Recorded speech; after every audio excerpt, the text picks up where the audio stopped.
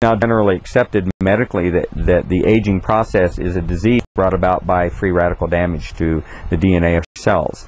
The double helix of the DNA, the ladder, uh, you have your little peptides that go in between, the rungs of the ladder, but the double helix of the DNA, edges are composed of, of hydrogen uh, atoms. And so when a free radical comes into the body, if we don't have sufficient antioxidant protection, uh, what happens is that the free radicals will steal a hydrogen from the DNA helix, damaging it, splitting it in two, and then that DNA helix now cannot reproduce or cannot be reproduced in its original form, and and this is largely what the aging process is. In other words, a lot of, of cellular degradation is due to damage of the DNA helix from free radical damage that damages the cells. Uh, free radicals damage the cells.